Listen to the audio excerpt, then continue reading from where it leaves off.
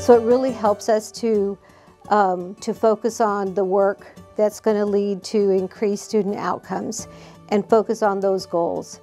Um, it really has made my job a lot easier and it's been the best professional development that I've received as a superintendent that, um, that is exactly what I needed.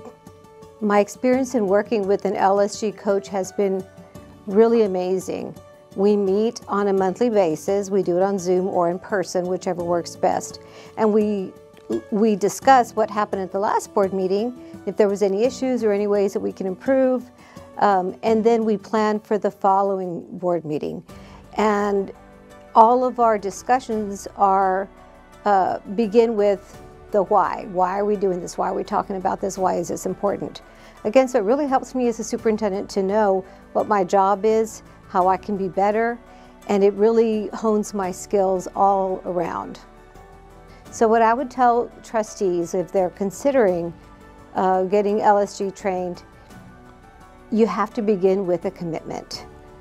My board decided to, uh, to do this. We applied for the exemplar cohort grant and we were awarded that grant. I've had some folks say, why, why would you want to do that? Isn't that for boards and districts who are in trouble and uh, not doing well? And on the contrary, I really believe that this training should be for every school board in Texas. It's been really pivotal in our success in working together as a team.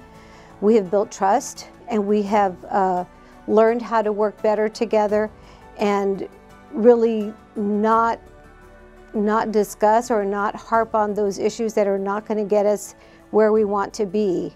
Um, the issues that are going to focus on student outcomes uh, and having us make decisions based on that and not on what's easier for, uh, for the adults in the building really has helped us to do our job better and um, to be a better board for our community.